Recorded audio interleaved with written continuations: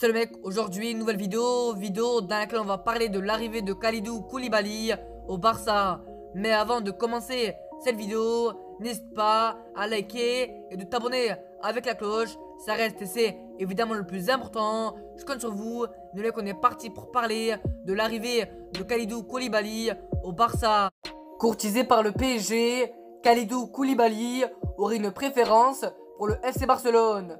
Le défenseur du Napoli aurait récemment été contacté par Xavi, l'entraîneur du club catalan. Présent au Napoli depuis 2014, Khalidou Koulibaly pourrait ouvrir une nouvelle page de sa carrière lors du prochain mercato estival 2022.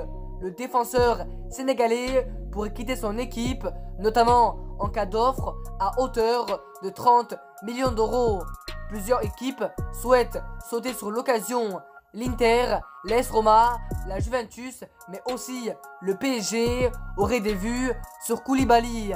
Mais en croire la presse espagnole, le joueur de 30 ans pourrait découvrir la Liga en rejoignant le Barça. D'après les dernières informations de Sport, Khalidou Koulibaly privilégierait l'option FC Barcelone.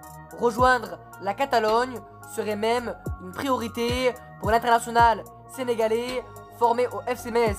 Entraîneur de la formation Blaugrana, Xavi se serait récemment entretenu avec le joueur du Napoli pour connaître ses intentions et savoir s'il était prêt à rejoindre le Barça. La réponse semble être oui. Une mauvaise nouvelle pour le PSG qui piste depuis plusieurs années Khalidou Koulibaly. Donc l'arrivée de Koulibaly à Barcelone, chauffe de plus en plus. Un accord entre le Barça et le Napoli aurait été trouvé et Koulibaly pourrait bel et bien arriver à Barcelone lors du prochain mercato estival 2022. Voici pour cette vidéo, j'espère qu'elle vous aura plu.